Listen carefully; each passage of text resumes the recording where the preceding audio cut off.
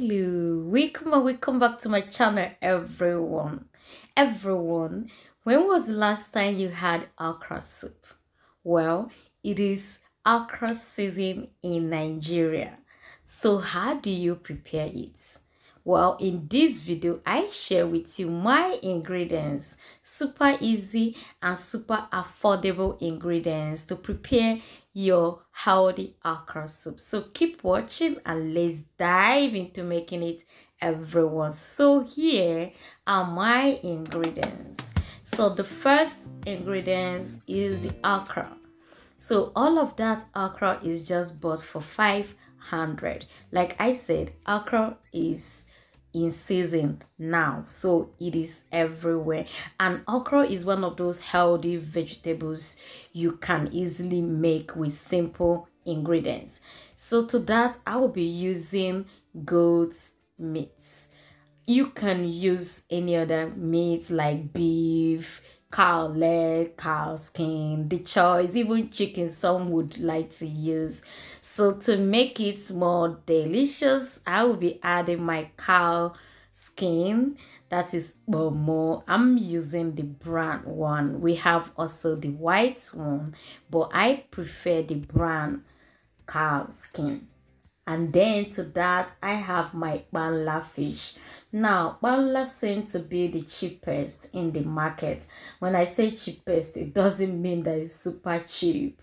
Before now we would want to use um titus fish that, that is mackerel but these days we go with um um banla fish. This was really smoked properly and super nice. Then i have my palm oil.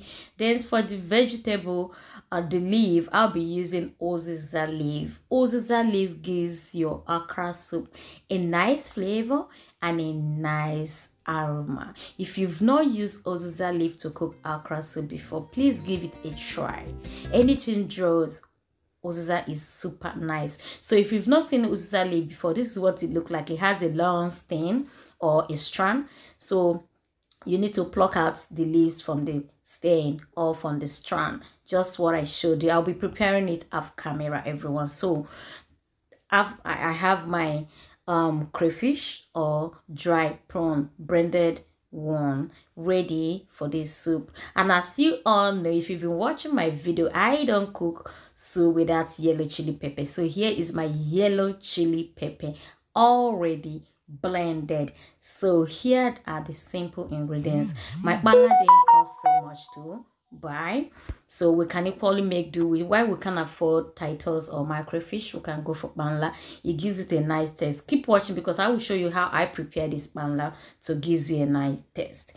Now to start with the okra i always wash it with um soak it with enough salt doing this help to remove all those greenish worms or insects that might stick to the body. So i'm going to allow it to soak here for some minutes before i cut it off camera.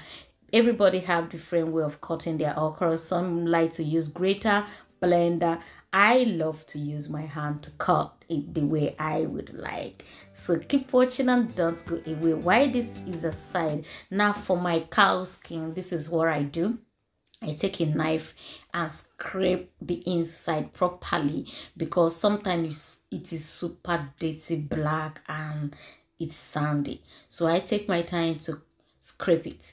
If you don't if you don't know how to manage this, do this with knife, please use iron sponge. I think I've made a video on how to use an iron sponge to cleanse the boma or cow skin properly. You see all the things coming out we don't need that for our soup then after that i also go ahead and scrape the back i will do this to all the cow skin that i'm going to be using so everyone if you, this is your first time in my channel you are highly welcome. If you're returning thanks for returning back. Please don't forget to thumbs up like my video share my video subscribe if you've not yet subscribed and don't forget to watch the ads support my channel by watching the ads as they display and share my video to your friends and families all right so this is how i dice the momo i cut them into smaller size. Cut yours to the size you would prefer to use for your soup. So after cutting this i will set it aside.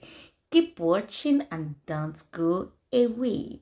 And now this is how i take my time to prepare the banla fish. First i would remove the head and then go ahead to remove all the intestines that are not needed and as well as the bone especially if you have kids.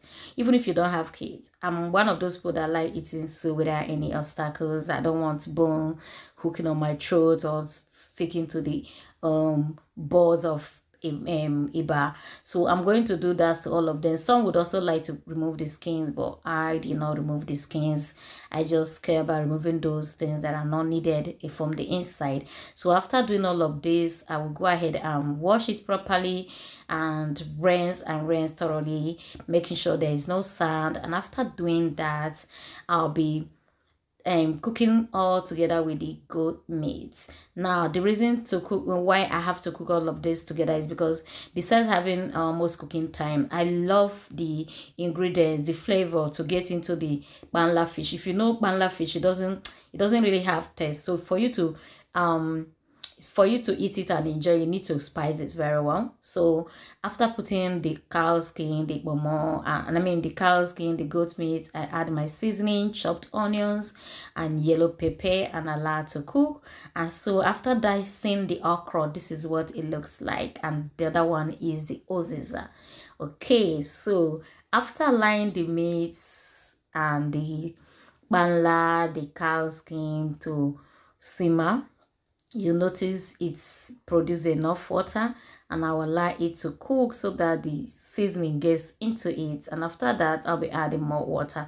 So for seasoning I use um, one tablespoonful of um, um, seasoning half teaspoon of salt one tablespoonful of uh, yellow chili pepper um, a bulb of onions. So after it has cooked properly I'll go ahead and add my crayfish.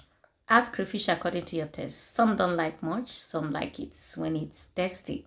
And then to that, I add my oil.